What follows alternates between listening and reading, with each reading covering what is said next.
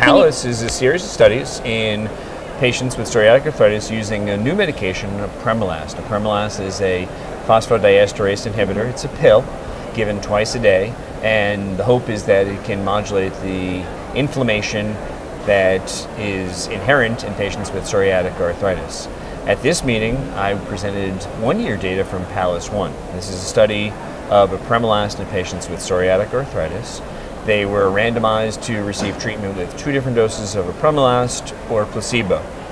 Previously, we showed the data revealing that there's efficacy in both the joint manifestations, the signs and symptoms of arthritis, mm-hmm. also efficacy in terms of the skin, and improvement in functional status.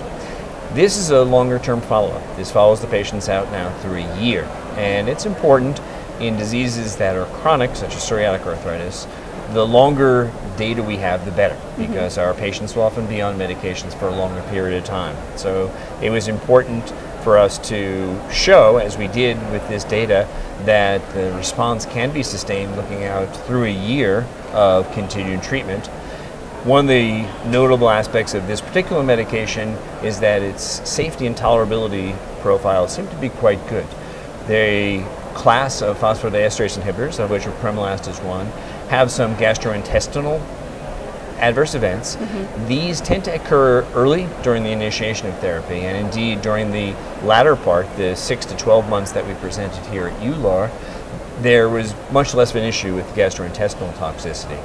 Also, as far as laboratory tests abnormalities, many times we worry about the medications we use for our patients causing liver problems right. or kidney problems or blood cell count changes with this medication, it doesn't seem like there's much of a signal with anything. Mm-hmm. And it mm-hmm. may well be that laboratory monitoring for safety is not specifically required with the use of this medicine. And so, can we go on to PALACE 3 then? PALACE 3 was uh, a, another study, similar in design, a few differences. The 24 week data were presented here, and we're much in line with what we saw in PALACE 1, and mm-hmm. that was the signs and symptoms of arthritis improvement, improvement in the skin, and overall the same safety and tolerability profile. Apremilast is not approved. Uh, it is under study. It's under study actually in psoriatic arthritis, in skin psoriasis. There's a separate series of programs that the sponsor has. It's also under study in a diverse range of some other immune conditions, mm-hmm. rheumatoid arthritis, Behçet's disease, and ankylosing spondylitis. But certainly the psoriatic arthritis and psoriasis programs are the furthest out ahead. And so, any prediction on that uh, on that drug's um, regulatory pathway? When when might we see it? Well, I think the the, the sponsor, I believe, certainly is planning to submit. Uh, I think they're planning to submit uh, this year, mm-hmm. and um, hopefully, as a clinical rheumatologist, I look forward to having many more choices for my patients.